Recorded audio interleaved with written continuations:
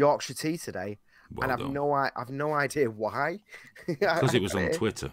Because it was on I needed, Twitter. yeah, uh, but but I, but I, and I intentionally, you know, usually, which is why I do ask for donations. Usually, I I read the fuck out of whatever it is we're going to talk about. But I intentionally left this because I wanted to be ignorant as I bought it. All I know is that lots of people on Twitter were crying, saying it needs to be boycotted, and I just so happened to need tea bags, so I bought the biggest box of Yorkshire tea that they had. And, and It's uh, very just nice Yorkshire tea. it is, yeah, yeah. I wouldn't have got it if I didn't like it. I already do like it, so I'm good there. But um, do you know what happened with that? What, Yeah, what, why, the, why is um, everyone hating on it so much? The I think it was it the Secretary of State or the Chancellor um, of the Exchequer was pictured saying, "Oh, it's brew time. Nice cup of Yorkshire tea," and held up a big bag of Yorkshire tea. Um, so the the kind of gentle left just promptly attacked all the social media bods at Yorkshire Tea, giving them loads of abuse because you know the left are never abusive or yeah. or mean.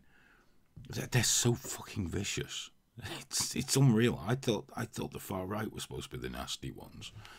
Um, the So- left are so aggressive, but yeah, they landed not- on Yorkshire tea. It's not like an official endorsement or anything No, like no, that. No, he was just literally- pictured with a bag of Yorkshire tea.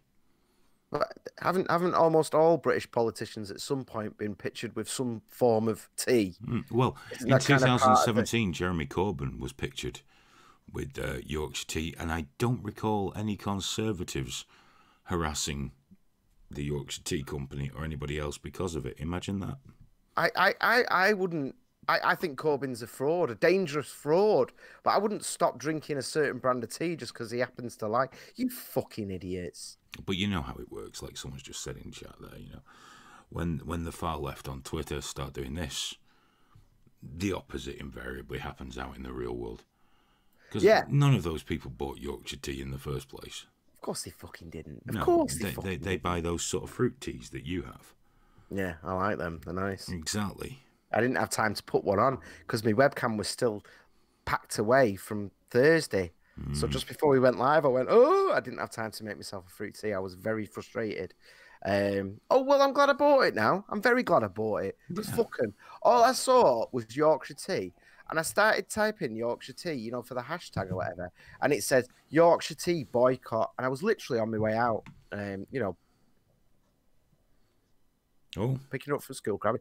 I follow, and I, I, all I saw was boycott, and I thought it's like when the Guardian gives a bad review for a film. I'm like, mm, I might go see that. Uh, I just, I just saw they were trying to boycott it, and I was like, right, well, that's, I guess that's what I'm getting then. Because fuck the mob, fuck every single one of them. I'll probably keep buying Yorkshire tea from now on. Well, you know, we spoke briefly there about leftists being quite aggressive and things like that. And, you know,